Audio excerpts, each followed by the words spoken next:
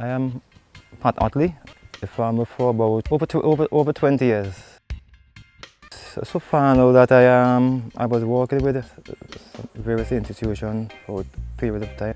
But happens to know I just figure out things that not really going too well, let me come and utilize my land as to put some of my knowledge into practice.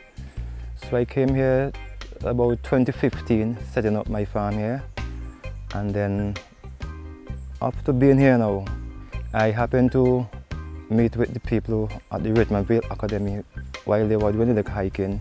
Volunteer some of my time with their students in the organic farming.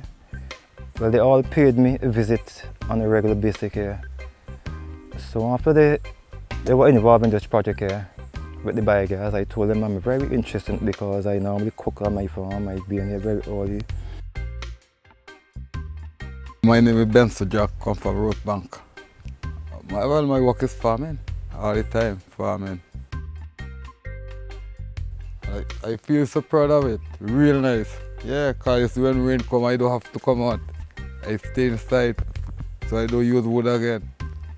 Yeah, so I have to thank them very much. You know, thank Richmond Vale Academy very much, man, for that. And it's very nice, eh? Because you don't have a rotten thing, just plastic. So you always have peeling now to feed.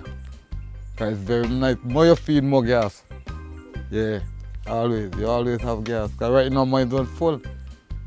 I'm ready now, I go and cook on it. I have no problem to go and catch fire. The collection of my fertilizer here now.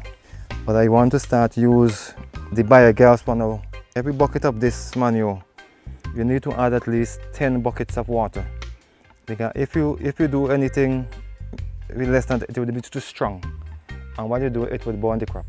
But from my observation at Richmond along by the RV, I have witnessed the application in this one here to the crops and I could see that it is um, it is doing well. This is the digester and this is the one that store store the gas.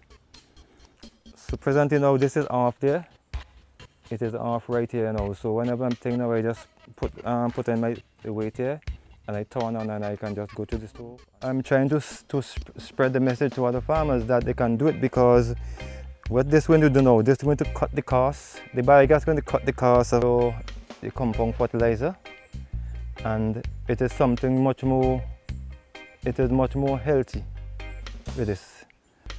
So what this is showing now is how you can put green manure into energy or any any wastage of crop residue you can utilize it so we can avoid like the rat the rats and so on we'll be having less food once we can have these things to utilize in this farm here. It's really nice. Thank them very much for that.